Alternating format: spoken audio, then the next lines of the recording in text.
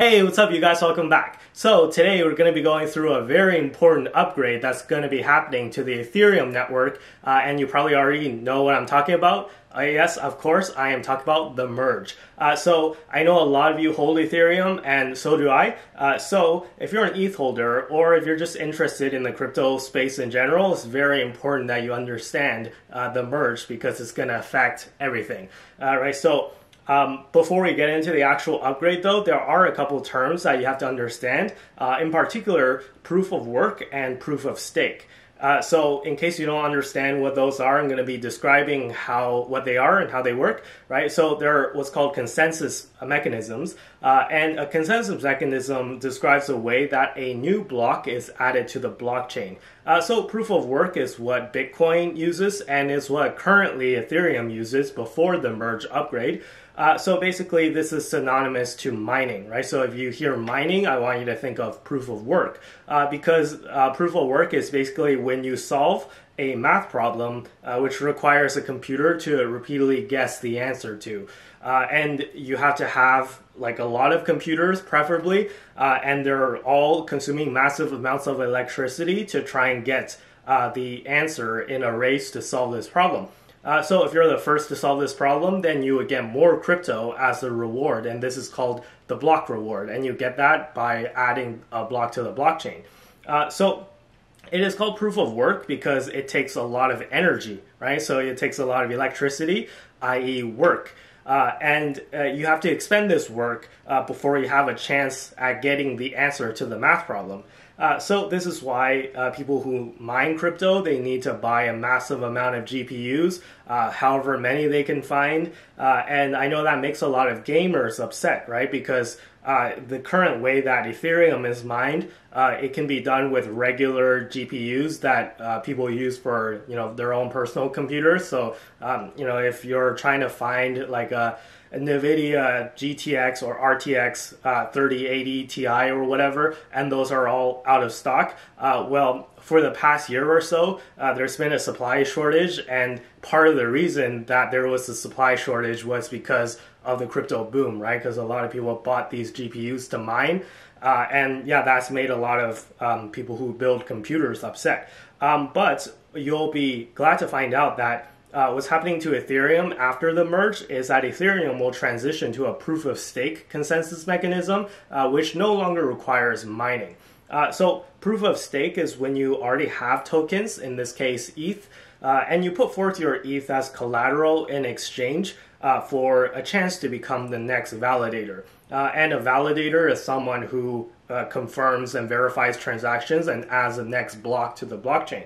Um, now, the more tokens you put forth as that collateral or as your stake, they call it, uh, the higher the chances you have at getting chosen as the next validator. Uh, so, the easiest way to think about this is uh, imagine if you're playing poker, right? So, uh, you have to put your chips in the center, uh, and the more chips you stake, uh, the more chips you win if you win, right? So it's not exactly a one to one analogy because there's some slight differences, but it's just an analogy, okay? So uh, this means that also if you misbehave, uh, meaning that if you try to attack the network uh, or if you try to verify invalid transactions, uh, then part or all of your stake can be taken away. So this is called slashing uh, this incentivize or disincentivizes, sorry, uh, the people who are staking from doing anything that try to disrupt the network. So the merge is all about transitioning Ethereum from proof of work to proof of stake. Uh, now, why is it called the merge? well, there's already been a proof of stake version of Ethereum that was started back in December of 2020, and this is called the Beacon chain. Uh, so basically, it's a parallel blockchain that has been running alongside the Ethereum mainnet. Or so that whenever you hear mainnet, it means the actual Ethereum chain, right? The main chain. Uh, so it's been running alongside the mainnet, uh, and the Beacon chain was started as a proof of stake uh, chain. So so it's already proof of stake. Uh, what's going to happen shortly uh, is that uh, the main Ethereum chain is going to be merged with the beacon chain, and the consensus mechanism of the main chain is going to switch to the proof of stake consensus mechanism of the beacon chain.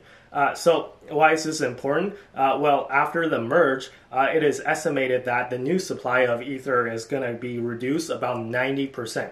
Uh, so some people call this the triple halving. Uh, and this is because it's similar to three times the amount of supply impact uh, as a Bitcoin halving. So uh, recall a Bitcoin halving is a mechanism built into Bitcoin where every four years, approximately, uh, the amount of block reward gets cut in half.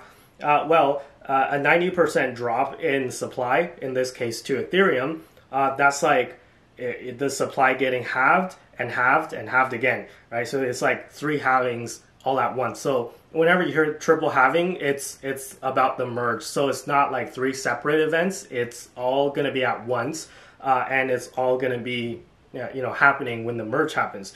Uh, so many people are expecting Ethereum's price to go up because of that.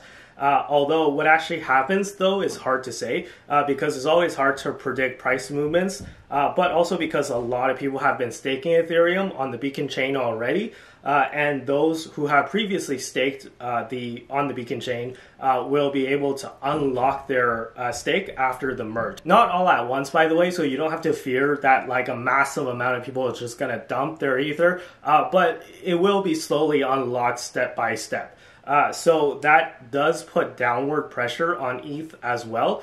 Um, so you know it has to like you have to work out you know or see how the uh, demand matches with the supply, right? So uh, the supply, the new supply coming in, it is going to be reduced massively, uh, but at the same time, you'll have people who have staked their ETH on the Beacon chain uh, for you know years at this point, uh, and they're going to try and uh, unlock it. So.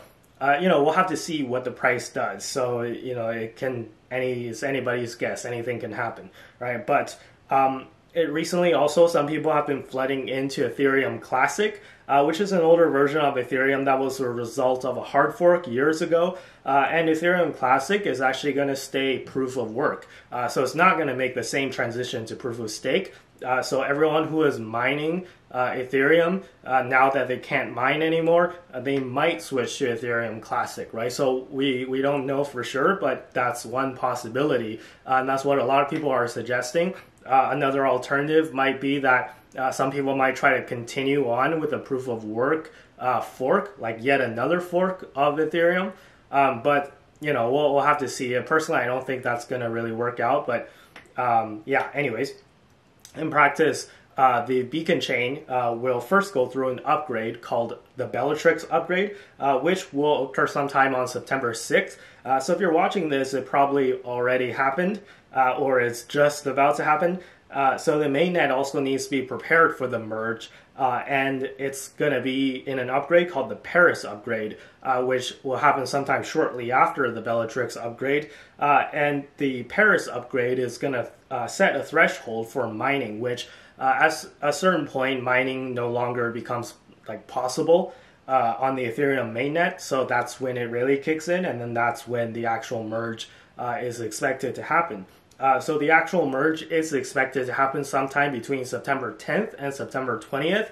Uh, the reason why there's such a big range is because uh, all these upgrades are scheduled for a certain block height, like a certain point on the blockchain, uh, which is dependent on how fast each block gets generated and confirmed. Uh, and this can vary, right? So we, we don't have an exact date because it's by a certain block time. Uh, but anyways, uh, fingers crossed that this goes well because this is indeed one of the biggest uh, and most difficult things that the crypto industry has ever done. Uh, so we got some of the uh, world's smartest programmers working on this. Uh, however, this is like changing the wings on a plane uh, while it's in flight. So it's not an easy task by any means. Uh, so in terms of implications, uh, if you are an ETH holder, there's nothing you need to do besides just continuing to hold ETH. Uh, so don't believe anyone who says that you need to send your ETH somewhere to get it upgraded. Uh, those are all scams. Uh, scammers are trying to take advantage of this situation, so please don't get scammed. Uh, just you don't have to do anything to reiterate. Just hold on to your ETH uh, if you plan on holding on to it. If you don't plan on selling, right? So. Anyways, I'm going to leave the video here. Hope that was all clear. If you like the content, be sure to give this video a like and be sure to subscribe to the channel if you find this content interesting. Uh, also, leave links down below for my Twitter and Instagram if you want to give me a follow. Uh, and yeah, with that being said, I'll see you guys in the next video. Bye bye.